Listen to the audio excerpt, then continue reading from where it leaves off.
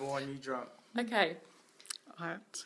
Happy Birthday to you. Happy birthday to you. Happy birthday, dear May Happy birthday to you. Happy birthday, Ma.